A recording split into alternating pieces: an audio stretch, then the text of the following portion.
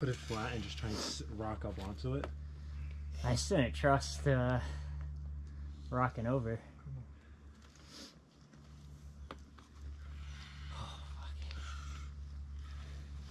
My hands are so cold.